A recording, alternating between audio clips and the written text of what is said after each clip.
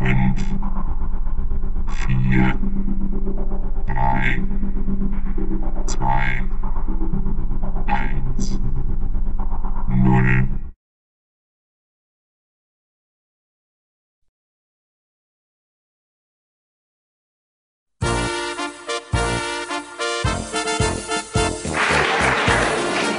Der Gewinner James und Mac.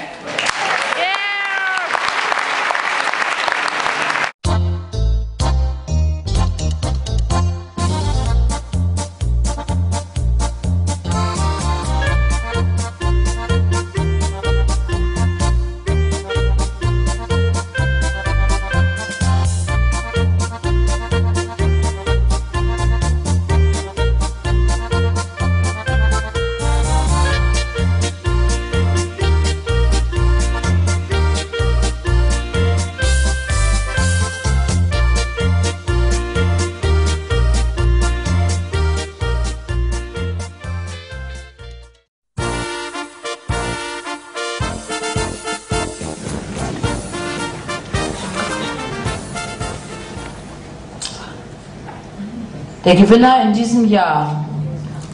Beste Tauchbasis Rotes Meer. James and Mac Diving Center Orgada.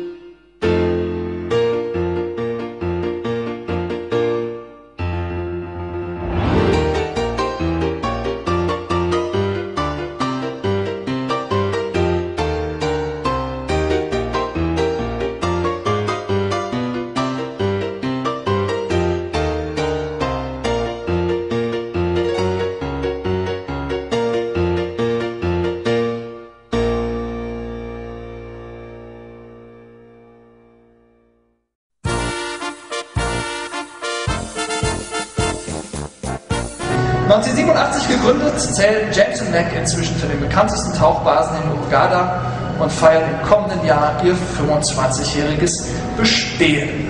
Und ob sie das mit einem Award versüßt bekommen, das erfahren wir jetzt von Frau Jahr.